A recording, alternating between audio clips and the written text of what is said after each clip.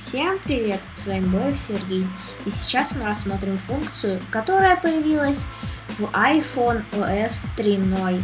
Эта функция называется режим модема. Давайте представим такую ситуацию. Вы попали в отель, где отсутствует Wi-Fi, но при этом взяли iPhone и, например, планшет. Существует три способа подключения iPhone к другим девайсам по Wi-Fi, по USB и по Bluetooth. Для начала давайте зайдем в настройки основные сеть и включим 3G и сотовые данные. Далее идем обратно в настройки и включаем режим модема.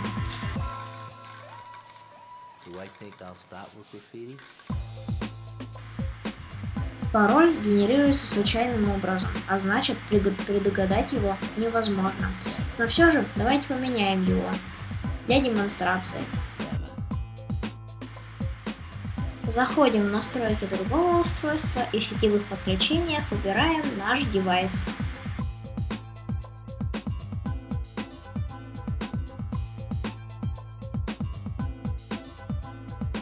После этого на iPhone будет отображаться количество подключений, а на iPad иконка связки двух девайсов.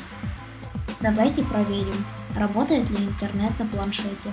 Кстати, подключить можно сразу несколько устройств. Рассмотрим ситуацию, где iPhone выступает в качестве USB модема. Для этого вам понадобится USB шнур, который идет в комплекте, и собственно iPhone. Далее списке сетевых подключений выбираем наше устройство. Если вы здесь впервые, подписывайтесь на канал и мой твиттер, ссылка в описании. Не забывайте ставить лайки и оставлять ваши комментарии. Всем спасибо, до свидания.